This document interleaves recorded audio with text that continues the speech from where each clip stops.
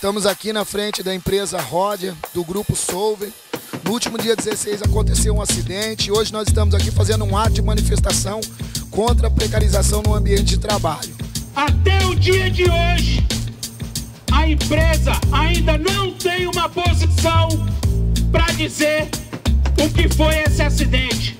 Porque complexo se trabalha, se manuseia produtos altamente cancerígenos, prejudicial para a saúde do trabalhador, a qual todos vocês estão expostos, independente do setor que vocês trabalham.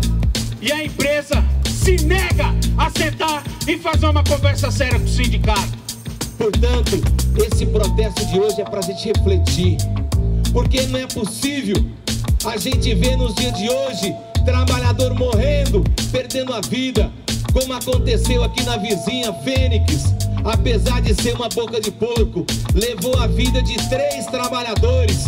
O acidente é o fato principal, mas nós queremos pegar no todo para que a gente deixe o ambiente saudável, que as águas dos rios não sejam poluídas.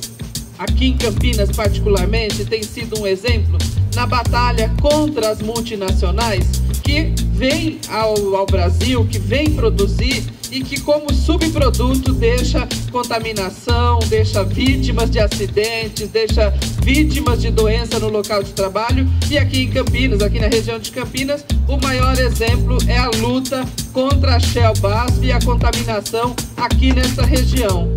O capitalismo suga, o capitalismo explora, o capitalismo mata e não se importa com as pessoas.